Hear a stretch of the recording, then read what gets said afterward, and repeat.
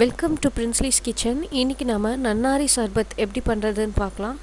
அதுக்கு முன்னாடி பிரின்ஸ்லிஸ் கிச்சனை சப்ஸ்கிரைப் பண்ணிக்கோங்க. பெல் ஐக்கனை ப்ரெஸ் பண்ணுங்கள் ஃபர்ஸ்ட் நம்ம ஒரு டேபிள் ஸ்பூன் அளவுக்கு உள்ள சப்ஜா சீட்ஸை நம்ம தண்ணியில் ஒரு டென் மினிட்ஸ் ஊற வச்சுக்கலாம். இப்போ நம்ம ஒரு கிளாஸில் ரெண்டு ஐஸ் க்யூப் த்ரீ டீஸ்பூன் அளவுக்கு நன்னாரி சர்பத் ஆட் பண்ணிக்கலாம்.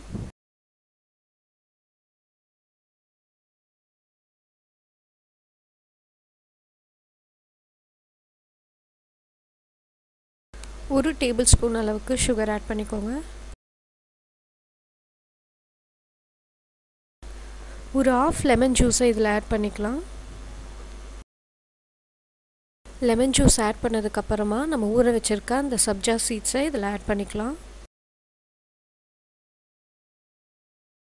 எல்லாம் ஆட் பண்ணதுக்கப்புறமா கூல்டு ஐஸ் வாட்டரை இதில் ஆட் பண்ணிவிட்டு நல்லா மிக்ஸ் பண்ணி விட்டிங்கன்னா போதும். நமக்கு நன்னாரி சர்பத் ரெடி